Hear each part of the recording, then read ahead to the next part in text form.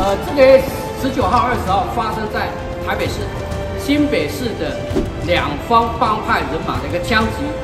案件。那针对当铺的一个五十一枪的枪击案件，开枪以后，少年去投案，但是经过中央以及呃地方新北市还有刑事局的一个组成专案小组的一个追查，立即查出幕后的主嫌是由林姓。的主嫌所交收的，而且当天就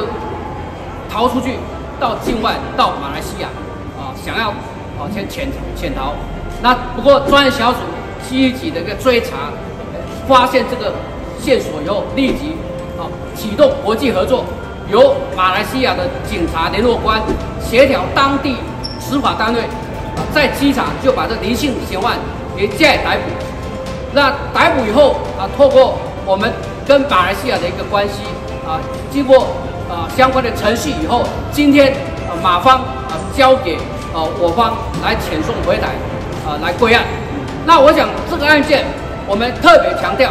无论你是什么层级，无论你是逃到天涯海角，警方绝对会把你绳之以法。另外，在国内这些涉案的，包括幕后交收的，以及包括这些执行的共犯、提供枪械的等等。警方已经有查缉到二十六人，其中有十二人也都羁押收容。那相关的这些呃犯案的这些嫌犯，警方还积极在查缉中。那我想我在这里还再次一个强调，无论是你跑到哪里，警方都会一个一个把你揪出来，绝不手软。另外，这个集团竹联帮红人会还继续在外面的一个呃作奸犯科，警方也都有锁定。啊，包括你这一次的一个这种分位，另外其他的分位，各检察机关也都全力来啊侦办、在查缉。啊，我在这里也特别在强调，警方绝对有能力针对红人会、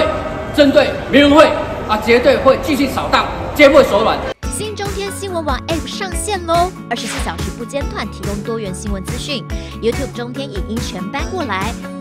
新闻即时推播不漏接。影音随你订阅，上架及时通知，个人化收藏，